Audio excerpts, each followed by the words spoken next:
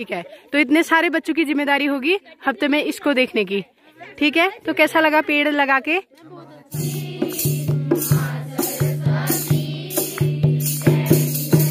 हम यहाँ पे ना चाय पानी पीते हैं और कुछ खाना वाना खाते हैं क्योंकि दो बजने वाला है और जुकाम भी लग रहा है तो उसके लिए चाय ज़रूरी है पहाड़ों तो हमारे आते आते ना बारिश भी रुक गई है और सामने का व्यू देखिए कितना प्यारा लग रहा है अभी।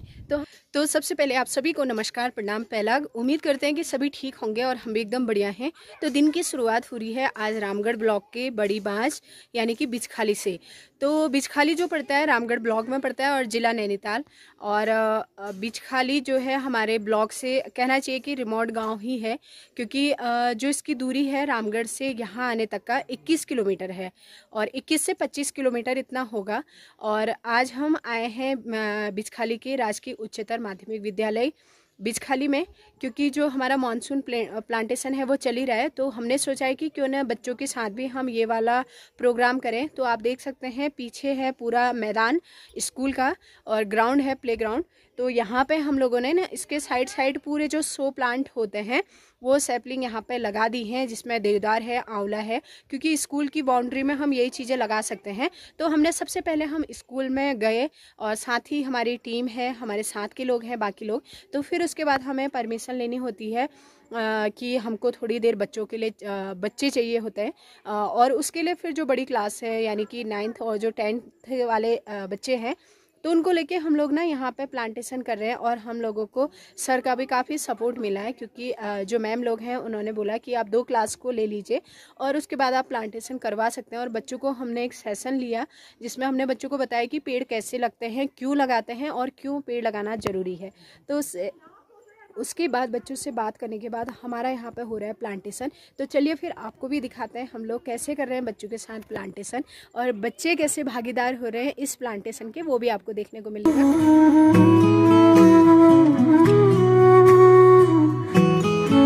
ठीक है? हम लोगों को कितने लोग जानते हैं? चिराग के बारे में सुना है किसी ने? नहीं ना? तो पहले तो सर का बहुत बहुत धन्यवाद इतना समय देने के लिए। और सभी बच्चों को सुप्रभात तो नहीं खाना भी खा लिया। तो हमारी तरफ़ से आप सभी को बहुत सारी शुभकामनाएँ। तो हम लोग चिराग से हैं। आपने चिराग सुना ना? हाँ तो चिराग इसमें से अभी हम लोग बहुत सारे सेक्टर में काम करते हैं। ठीक है? हम जंगल को लेके काम करते हैं शिक्षा को लेके काम करते हैं स्वास्थ्य को लेके काम करते हैं और पानी को लेके काम करते हैं। ठीक है?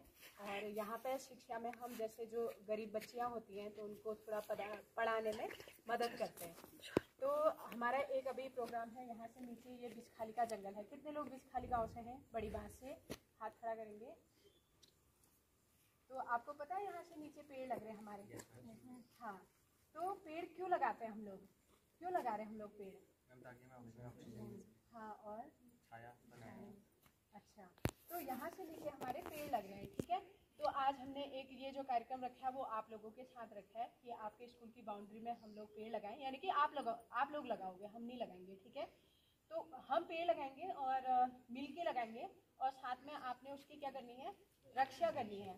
तो हम कक्षा नौ और दस को ज़िम्मेदारी देंगे, क्योंकि बड़े बच्चे हैं ना तो एक पौधे को दो दो बच्चे उसको रोज़ उसकी हफ़्ते में एक दिन गुड़ाई करना है, उसको देखना है, उसमें पानी डालना है। आजकल तो बरसात हो रही है बरसात के बाद भी उसका ख्याल रखना है।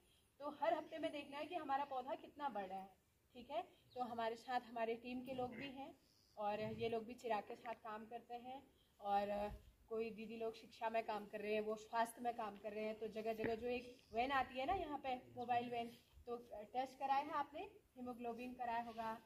तो यहाँ पे वो जगह जगह पे कैंप लगाती है, ठीक है? तो स्वास्थ्य का काम भी हम करते हैं, पेड़ भी लगाते हैं, पानी को लेके जो हमारे गाँव में नौले धारे होते हैं ना, आप लोगों ने तो देखे हैं नौले धारे तो उन नौले धारों में अब धीरे धीरे क्या हो गया, पानी कम होने लगा है। इस साल आपने देखा कितनी ज़्यादा आग लगी, पानी कम हुआ। तो उनको रिचार्ज करने के लिए भी हम लोग वहाँ पे छोटे छोटे गड्ढे बनाते हैं, पिट बनाते हैं, पौधे लगाते हैं और नौले को रिचार्ज करने का काम भी हम लोग करते है। मेरा नाम भास्कर मेहता है।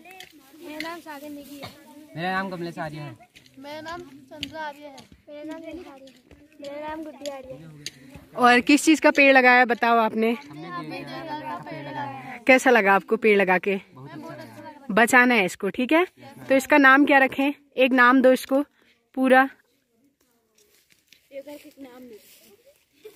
बताओ क्या नाम रखना है? देवदार क्या होता है? सदाबहार होता है ना, हमेशा। तो इसको सदाबहार वाला नाम दो, ठीक है? अब इसको आपने पानी भी देना है, इसकी गुड़ाई भी करनी है, और देखना भी है, ठीक है? और हफ़्ते में एक दिन, ठीक है? तो बच्चों ने लगा दिया है यहाँ पे एक देवदार का पेड़। तो इनको ज़िम्मेदारी दी आपका नंबर कौन सा है ग्रुप का? थ्री है ना? हाँ तो ठीक है। तो इतने सारे बच्चों की ज़िम्मेदारी होगी हफ़्ते में इसको देखने की। ठीक है? तो कैसा लगा पेड़ लगा के? ठीक है, चलो, अब दूसरा पेड़ आंवला का लगाना है तो आप दूसरी जगह भी ऐसे ही बनाना है आपने।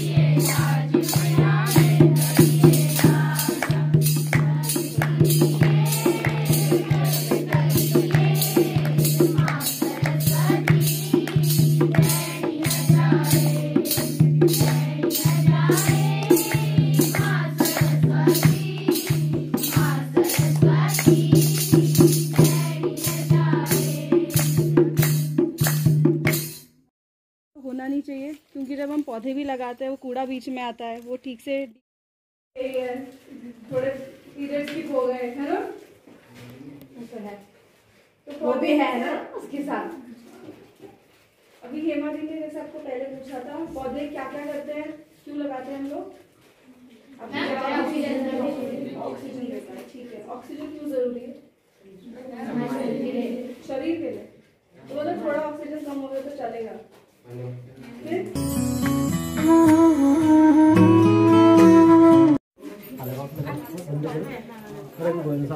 थैंक यू सर आपने इतना सारा टाइम दिया हमको। तो हम लोग स्कूल से आ गए हैं और स्कूल में छुट्टी हो गई और सभी टीचर्स को हमने थैंक यू बोल दिया है। और हमारे साथी हैं उधर।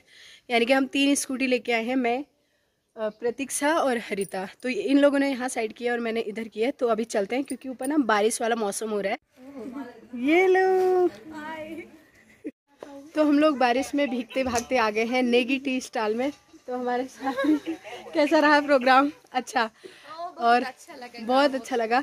तो अभी हम यहाँ पर ना चाय पानी पीते हैं और कुछ खाना वाना खाते हैं क्योंकि दो बजने वाला है और जुकाम भी लग रहा है तो उसके लिए चाय ज़रूरी है पहाड़ों के लिए तो हम चाय वगैरह पीते हैं पहले।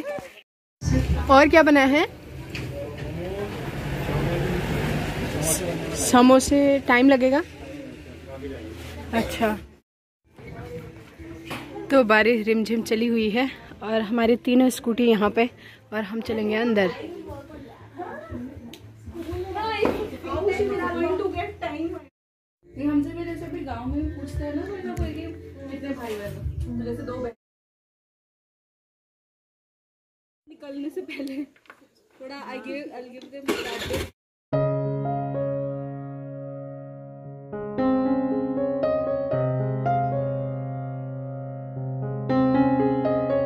तो हमारे आते आते ना बारिश भी रुक गई है और सामने का व्यू देखिए, कितना प्यारा लग रहा है अभी। तो हम लोग अभी जा रहे हैं फिर से ऑफ़िस और सब लोग अलग अलग जा रहे हैं, कोई आगे है, कोई पीछे है और मैं रास्ते में रुक गई और जहाँ पे मेरे को व्यू नज़र आता है ना, वहाँ पे तो मेरा दिल लग जाता है पहाड़ों में। सच्ची बहुत ही प्यारा वेदर हो रहा है अभी। बारिश भी रुक गई है, थोड़ा बहुत भीग भाग के आ भी गए हैं।